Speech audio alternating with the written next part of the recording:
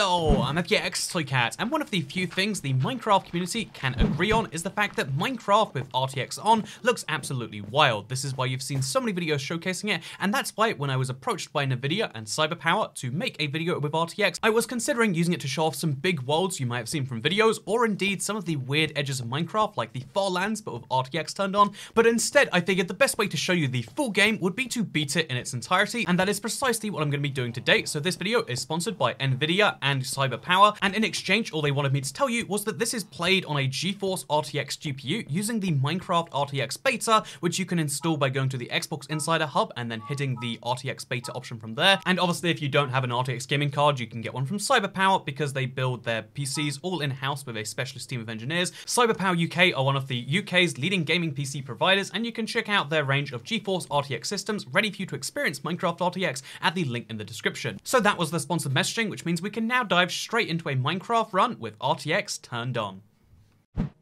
Because let's be entirely honest, although lots of people are going to be able to look at their great builds of RTX, most people play Minecraft by playing survival, so this is what your normal experience will look like, although I think normal isn't the word you can use when you're looking at a world this beautiful, but this is what Minecraft looks like with RTX. Now let's see how long it takes us to beat the game. Just for reference here, I'm using a seed that I found for 1.14 speedrunning, so there's a little bit of familiarity here, but it's still beautiful to see all the changes that have been made, and like every single mob uh, looks just wondrous in the sunlight and the sunbeams we're seeing. It's super nice, but we have to focus on turning this wood into some stone, so let's do that quickly. Oh, we found our first ores of the day, and my god, are they looking good. I mean, uh, most, most ores and most of the things you'll see using RTX will have this kind of glowing ore effect, and not without good reason. It looks super nice too, and seeing the light slowly fade out areas where it's not there, that is far more complex than Minecraft's current lighting engine can do, and that's what makes RTX so great in my opinion. But no time to uh, dilly-dally on it. Instead, we must be making a furnace because we need some iron tools if we're going to the nether. Oh god, look at the grass. No, focus on the game. Focus on the game. okay, it's a little hard to focus on the game sometimes with just all this stuff going on, but we're going to try our very best to do precisely that anyway. Like, seriously here, you can see how as the sun moves through the sky, the light affects the Minecraft world very slightly differently, so it's slowly moving down the blocks as our, uh, you know, furnace fuel slowly turns into iron. The lighting engine is absolutely ridiculous, and that's why it requires RTX cards, which admittedly, uh, you know, like something like 10% of Minecraft Bedrock players are going to have access to. That's something you always have to admit when you're doing something like this. But for those 10% of players, or anyone willing to pick up a card to become one of them, uh, the beauty here is absolutely beyond reproach, right? Speaking of things beyond reproach, getting flint is always a little bit of an annoying one. We need three of that for any self-respecting Minecraft run. One, of course, is to make a flint and steel, and two is to make a fletching table because we want to trade with some fletching villagers. So, one of the meanest parts of this run is we have to light animals on fire. I want to see how they look while they're on fire, though. Oh, God, look at the beauty here. Um, the, the lighting doesn't seem to affect too much mobs on fire, but even then, the, the environment they're in really does change the mobs running around on fire because you might have accidentally committed arson against an animal. And my god, is it worth it? Oh, look at the look at the beauty of the blocks around the fire. They really they really get more and more uh, interesting. You can see that right there. Something I'll definitely just admit right now I'm very excited for is riding a boat on the ocean to get to our nearest lava uh, pit, which is obviously an important thing to do. And I'm just excited to see like how this boat looks on the open water, because one of the things where, you know, one of the areas where Minecraft's lighting engine kind of falls lackluster and where RTX really picks up the slack is in the ocean. Look at this right here. Look at the beauty of me just sailing across an ocean and seeing the reflectiveness of the, you know, again, right now, water is either, you know, you can see it or you can't. Now there's not only reflections, but there's also refractions. Like stuff looks, uh, you know, like it would in real life, slightly different distance away than it actually is. And you can see water actually looking like water in the real world in a way that's realistic in some just beautiful, beautiful ways. You could say it's annoying, and you might be right in certain ways, but you wouldn't be right if you said it wasn't beautiful, right? Now we make ourselves a nether portal using some water just like so. Again, look at the water. Like, it's easy to spot when it's on the ocean, but even when you're making a nether portal, seeing the water slowly turn into obsidian like this, it really, really, really has an impact on your Minecraft experience, I'm going to say. And um, although it's slightly harder to be 100% sure that we're placing the obsidian in the right place, because again, it's fully transparent, it's even mildly refracting, which in this case makes me hope that that's the right block to place right there. But you can see like everything has changed in a way that is absolutely stunning and crazy to look at. But now we can pick up the water, we can see that in the midst of that, we made ourselves a nether portal. This is a Minecraft pro tip everyone should know if you don't already, but we're going to use it and go to the Nether. Because the Nether is something that is usually not recommended to be shown off as part of RTX videos, but I might have gone exception where I can use it as part of mine. So here you can see this is the Nether. Right now, it's not perfectly optimized for RTX, but even with just the very rough pass that's been done, you can see how, like, yeah, this looks great. Look at the look at the lava beams you can see in the distance, so bright above everything else, because that's what lava beams would be like. It's beams of lava, of course you can see them. So I do want to know how lighting's actually handled inside the Nether Fortress, and I guess I'm about to find out as we slay our first wither skeleton, or hopefully not get slain by one. Uh, so just like this, let's whack that wither skeleton to death. Oh, get whacked to death. That's also a possibility. So the pro tip with dying in the nether is to make sure that ghasts don't destroy all of your stuff. There are a few sources of explosion here, and if you let any of them get you, you'll not only lose your life, but you'll lose your stuff too. And no one wants to lose that, I hope. If you want to lose your life, this is the wrong video for you. Oh lord! okay, we're almost done. Okay, we're in. All we have to do now is not mess up two of the skeletons again, and we'll be great. But yeah, you can see how the lighting in this is really affected by those fences, which usually, you know, Minecraft's light engine just seeds them as uh, transparent blocks, but the RTX engine is really letting in an amount of light that makes sense given this fence post directly to these big lava beams. You can see it radiating on the side of these blocks right here. It's super fascinating, but let's go ahead and let's look through some more of this, because we need blaze rods as well as uh, not dying by whip skeletons. As always, an important thing. And yeah, when the blazes fire at you, you can see they really have much more vibrant attacks now. It's not just Minecraft fire that you're watching out for, it's the real fire they're spewing, which they normally do, which makes this glowing aura that, again, would make sense in real life. Fire is fascinating in real life and very few games can do it justice like you can see here in RTX. We're also gonna grab a saddle just in case we find a horse later. And indeed, another flint and steel and some gold horse armor for that horse that I really hope we're getting now. But yeah, it really is hard not to get distracted in these places by the amount of variance you can see in the lighting from block to block. And not just it is lit up or it is not lit up, but by the colors that it's reflecting from all the other surface. The, the thing that RTX actually is, in case you're curious like why ray tracing is such a big deal, is because they follow every individual ray of light so that they can accurately simulate light, not just in the abstract, but in terms of every individual, uh, you know, color being reflected in the amounts that it deserves. That's why this um, version has a few weird bugs. You might see like uh, my hand is being like accurately represented in the world, so it like goes through things sometimes like this in a weird way. Um, that's because it's doing all of that, and uh, that's what it's focused on. But anyway, we got our blaze powder. We can get out there now. In fact, we'll mine the spawner, because who doesn't want some free XP? It feels too soon to leave, but we've got to get out there as soon as we can. We've got to ignore the beauties of the Nether, even though it doesn't have the Nether update yet, because uh, when RTX officially comes out, it'll be for the final version of Minecraft, so that's why there's no Nether update features here, just in case you're curious, because it is a beta. But yeah, let's hop through the Nether, let's go back to the overworld, and let's get some trading done, because this is the 1.14 strategy, which means some trading is in order. Also, Oh my god, this nighttime. Again, nighttime is usually an ugly time in Minecraft. Here, with some lava and some water and some nighttime around, you can see how it's actually very much the opposite of that. Even the desert temple is easily uh, visible from the background. Although, just to mention, it isn't meant to glow in normal Minecraft. It glows because this is a texture pack using RTX. Right now, if you want to use RTX, you have to use one of the uh, uh, texture packs which uh, NVIDIA and uh, Thingy have put together. So just keep that in mind that in this texture pack, uh, terracotta is a seriously glowy block. It's the Neon District one. So it's meant to be super neony, and my god, let me tell you, it is. Oh god. this is not what it's meant to look like inside a desert temple, but I kind of dig it, right? I kind of like it. I mean, wait, wait. I kind of dig it, right? Haha, it's very funny. But yeah, the, the, the strange beauty that we get from inside here isn't natural, but I can't lie and say I don't like it. But seriously, if you look at the front of the desert temple, because it's right in front of some water, you can see how the rays are all being reflected from each of these into the water, and then they're hitting me at the accurate angle and accurate position that they actually would, making these gorgeous, lifelike, um, you know, reflections in the water. I love it. Also, look at these reflections of zombies in the water. They definitely are just zombies in water and not a thing that can hurt me here on land, right? That's how that one works. But yeah, same with the lighting from the village. Again, a lot of, um, you know, like uh, games will try to pre-render this sort of an effect, but this is actually being rendered on the fly, having the light from inside of those houses go outside of it as it accurately would. It's super bright in here because there's a torch in here, but that, that lightness shouldn't leave immediately, but yet it should be visible from the outside. It's a really hard thing for any lighting engine to do. What is with this villager? But it's a really hard thing for any lighting engine to do, but I feel like this one does it in a really, really solid way. Which is why in the mornings when there's a literal sun over there, everything is very bright. You can see it very well. In fact, I would argue too well. I could I, I would argue you can see too much right now. But maybe that's just me. Oh, okay. Iron Golem's got that one covered. Even the mobs have accurate shadows based on the sun's position, so because it's morning, their, their shadows are super long, as they would be, because the sun's facing from that way, and in the middle of the day, their shadows are shorter. Right now, Minecraft just puts this black circle under something, calls it a day with a shadow, but this has shadows on everything in the world, it's crazy to look at when you think about it. Even when the fire is competing with another light source like it is right now, you can see how there's a real beauty to it, which is hard to do in any other game.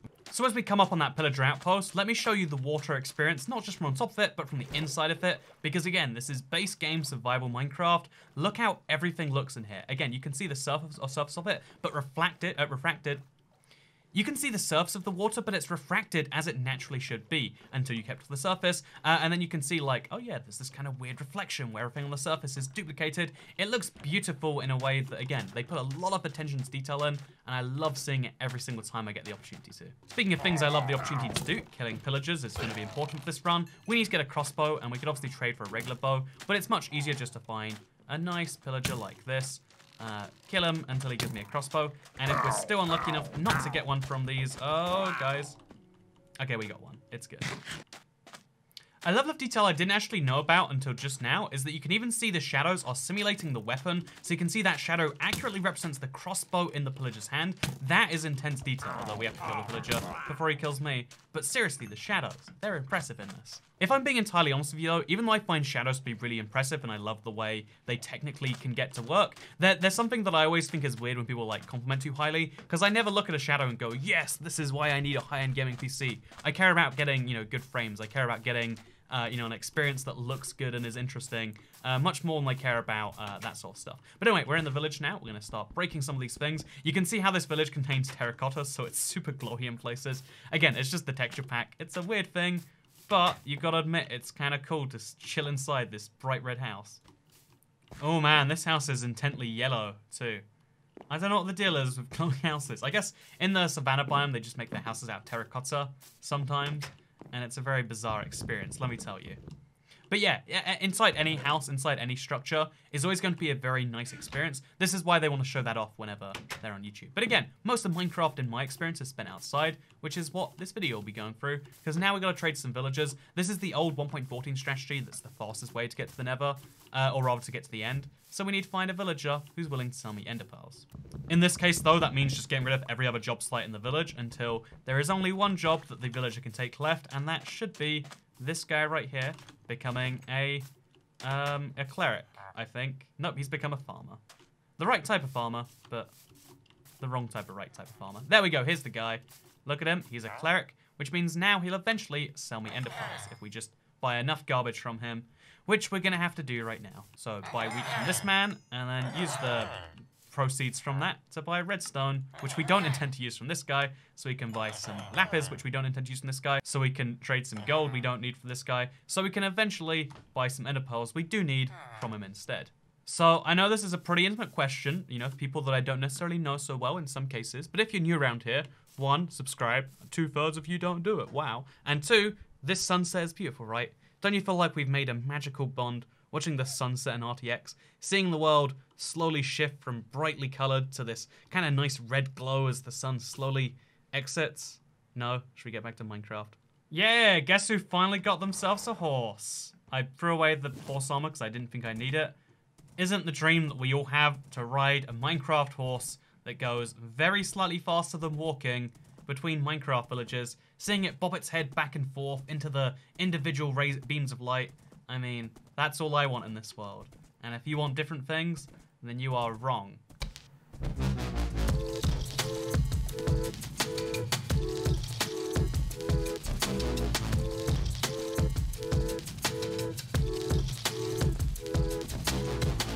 Okay, something we have to give credit to RTX for is not making rain look awful. You can see how it's raining uh, here very loosely, but it still doesn't look so bad. That is a real accomplishment. Rain is the worst thing about Minecraft, and to see it not ruin my not to not ruin the game as a whole, that is honestly something I never thought I'd see in my lifetime. Although it's ruining my attempt to get mm. cooked food. Am I gonna have to use a furnace? I can't go back to that, man. I can't go back to furnacing it the old way. Mm, mm, By the way, I only just now realized that I got a crossbow with this much durability. I, I think that's like, what, like one single arrow, and then it's gonna go bust? Wait, two, three arrows maybe? So we get three arrows, four arrows, five arrows, six arrows. You know, if I didn't spend so much time testing how long this crossbow lasts, I would have got myself a solid nine arrows before I would have done so. So, Turns out, just because it looks like it has no durability, you can see the, the bar is empty. Uh, just because it looks that way doesn't mean it is, because we've gotten now 15 hours from this thing and it shows no sign of breaking. But let's pretend that wasn't true, and let's just craft ourselves a normal bow already, shall we? A small bit of villager trading later, and now we can go with ender pearls in hand down to the stronghold. We need eight ender pearls for the stronghold to work, but I believe there are ender pearls in some chests. It's probably, we'll just pray that the stronghold has an eighth one. If it doesn't, we'll have to embarrassingly come back up here. And yeah, let's you what mining looks like in uh, RTX, because obviously lighting looks great when there's a lot of lighting around, but how does lighting look in low light situations? I mean, you can't always rely on there to be some iron ore or some diamonds or some gold around the place, right? So how does it look when you're in a dark cave with nothing around you? Or even, uh, let's let's say a step worse, right? Let's take one of these blocks um, right here, and let's put this above us so it's pure darkness. How does it look then? And the answer is, it looks like nothing. You can see literally zero with this on. I wonder if this is something... This is one of those key areas for improvement, right? Like, when you're breaking, you can see the particles, and you can see pretty much nothing else. Like, even my pickaxe, you can see it's just a gap on the particle effects. It's nothing! Oh, okay, that's why I don't mind down there, apparently. You can see literally nothing else. It's kind of crazy, right? But yeah, this is what the end portal looks like. One of the most important parts of Minecraft looks amazing because again, having lava around here doesn't mean too much unless that lava is as significant as it needs to be. And boy, does the lava in the uh, end portal room really light up. But again, if we go outside of this room and we start mining out again, you'll see how it literally looks like nothing up there because there is nothing we can see until that one block, which even then we can only vaguely see if we stare at it for long enough. The stronghold itself, though, is a great example of how Minecraft does look because these strongholds are lit up very sparsely in ways that actually look pretty creepy after this update. I mean, look at this room, for instance. You can see how the chest is pretty much invisible because it's between two of these chests, making it a bit harder to see is something that actually totally makes sense in this case. And it means that you can actually be led around the stronghold by some of these lighting choices. I'm not sure where this light comes from, actually. Is it the iron bars? What a... I'm, I'm so confused about that one, but let's ignore that for now. Let's instead pop down here, and let's go to another entirely dark room, try and find this, which is near me. I feel like the light's following me, but like, in a very, very vague, uh, broad way. But, okay, there's a zombie around here somewhere, but I can't see where. Help me. Help me. okay, so I'm fighting a zombie right now that I cannot see because I'm in a no light, light room. I'm just following the noises, and we pray that he dies. He did. Okay, so that was scary, and that is a thing that happens. That is why you need torches, at least right now with this current RTX build. Or, even better, you bring flint and steel.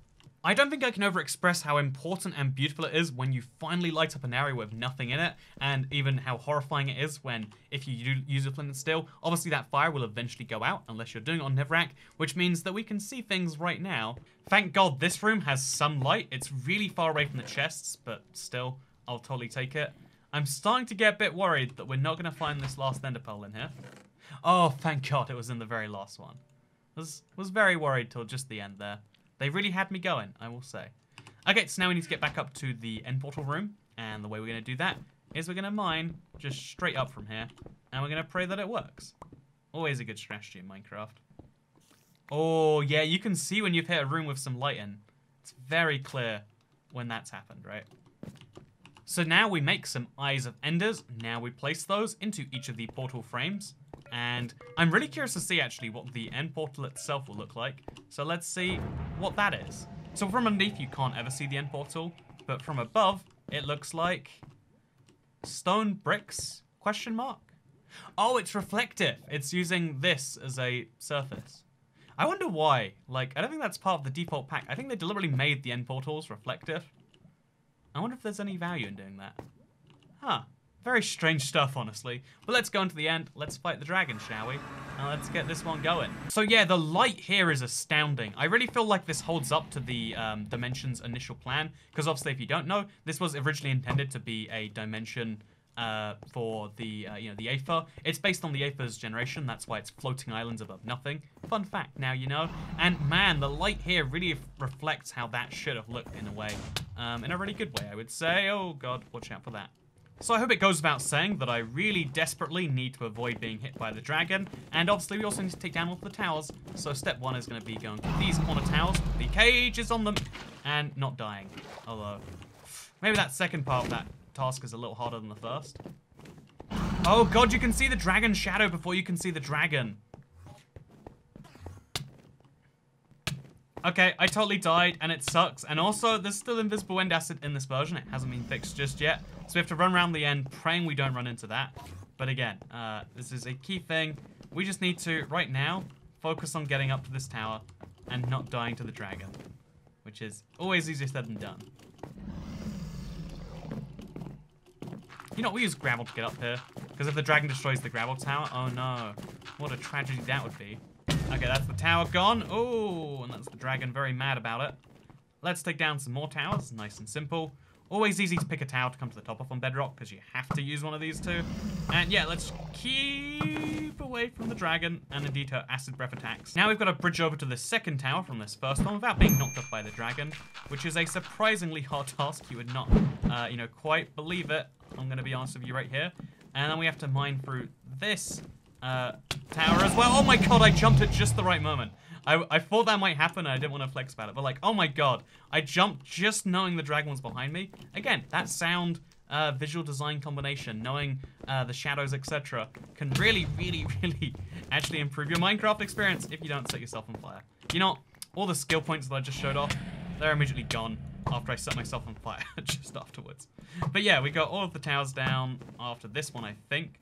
Actually, I think there's that one over there. I think it's probably lit. It just is outside my radius. Oh, we hit the dragon by accident. Heck yeah. Works for me. And now we want to hop down here, which requires a water bucket. Just uh, casually place that down. Look at the beauty, but don't get distracted by the beauty because we have to still defeat the dragon though. Oh god, that's crazy. And let's go slay the dragon. It's not often we have a low stress opportunity to kill the dragon, and this is definitely one of those. It's weird because the dragon model is exactly the same, but even just the same model lit better looks significantly greater. Have a couple rounds and shoot it dead.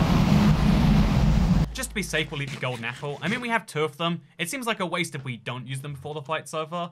And now we look at the dragon in third person. Again, same textures, same details, but otherwise just looks so much better. Oh god, that was a win. Okay, let's go. I don't want to be rude to the dragon. I know she has a whole life of her own that maybe she wants to deal with. But, you know, down here, we've got a fight we need to finish. And I'd like it if she could come down and let me do precisely that. Honestly, the dragon's always felt like a bit of a weird, outdated fight in Minecraft. The fact that you have to wait for her to come in and let you attack her, it just it just feels like a really old style Minecraft, a really old style video game. That maybe it's going for that kind of like phase effect thing.